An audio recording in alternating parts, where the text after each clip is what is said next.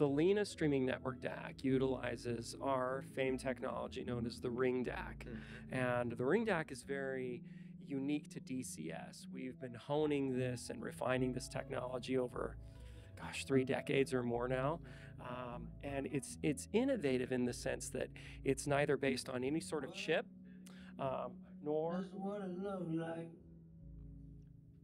Nor is it nor is it based on uh, is it a ladder DAC of any sort. So the ring DAC was a technology that derived actually from our applications back in aerospace and doing radar technology um, for military applications as well as as well as broadcast um, and recording equipment. And um, it's it's it's it's a it's an outstanding achievement in terms of digital to analog converter technology, um, but it's difficult to make work. Yeah. um, there's a lot of math involved in being able to in being able to execute on this design. And so there's a lot of world's first that we that we you know kind of be able to hang our hat on so to speak over the years. Things such as the world's first 24-bit DAC um, world's first FPGA driven DAC um, you know the DSD technology that allowed us to be able to um, that, that that we pioneered along with Sony and Philips. Yeah. a lot of world's first but but the LINA, the LINA is also really representative of a lot of innovation in the sense that we took what was otherwise a rather very large board and being able to put it into a compact, elegant design, Yeah. that was really challenging, really challenging. Um, so, in fact, actually, I'll maybe sh- sh- Yeah, yeah. Let's check it out. It is extremely, it, it is extremely compact, and uh, you know, for for the people viewing up front, it looks as if it's maybe one product there. It's not. Half of that is the DAC, and he said the half is the clock. Yeah, exactly. So so the master word clock, that that technology is something that is ubiquitous to us as digital to analog converter technology. Back during our days when we were doing equipment for studios, and broadcasting houses, and so forth, you talk to any good studio um, mastering engineer, they'll tell you the the importance of having a master word clock. And but but it's it was relatively new in the consumer market up until more recently.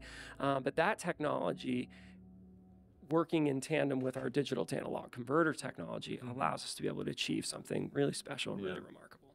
But um, so oftentimes manufacturers are a little bit shy about showing you what's under the hood. Um, and here, this is actually the internals of the LINA network streaming DAC that you're hearing. And, uh, and as you can see, I mean, there's a lot going on inside of here. And in fact, actually, the bottom of this unit is actually right over here. That's our, our custom toroidal power supply um, that loads into the bottom. But some really interesting things that, that I can point to with regards to this. Um, not only is the execution of, of build quality really, really impressive, um, all of the, uh, the, the custom metal pieces and so forth, but also the internals. Let me take this out here for a second. So what you're looking at here, um, you'll notice this is the ring DAC itself, okay? But then you'll notice something that, that is kind of interesting, drawing your attention to what looks like, see these almost look like orange connectors? Yeah. Those are not ribbon connectors. It's actually a flex rigid PCB. First first implementation of its kind in the high-end industry. This is technology that, that was utilized in the medical and the aerospace industry. What it allows us to do is take one continuous seamless PCB and be able to fold it. So these are actually unbroken copper tracings of the of the 12 layer PCB board that you're looking at here. that side also. hmm exactly. So, so this is not five distinct um, uh, circuit boards, but rather one continuous circuit board. Now, the reason why that was so important to us is that when you introduce ribbon connectors, those are subject to degradation of the signal. The signal path. You don't want to do that. And yet, to be able to fit this inside of an enclosure this size required that innovation. But it allowed us not only to to you know benefit from the performance uh, substantiation here, but also the the streamlining of the of the manufacturing and production process.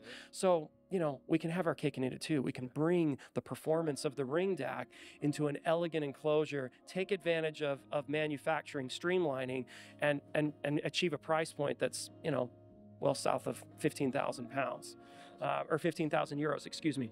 This is super cool.